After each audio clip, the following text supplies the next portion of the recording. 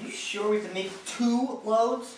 This box of detergent says we have to separate the colors from the whites. What a pain in the butt. I wish it didn't have to be this way. There is no such thing as part freedom. Nelson Mandela! Perhaps these can help. Anti-Apartide! Yes, anti-Apartide.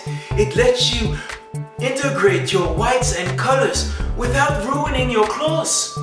Just the way God intended. That's impossible. How could a detergent be so good? It only seems impossible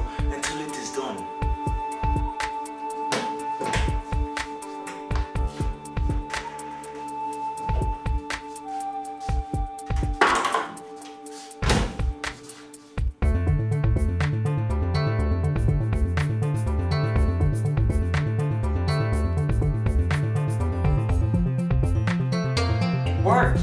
They're all so clean. Yes, and unlike other detergents, anti-Apartide is not made in racist factories by oppressive regimes.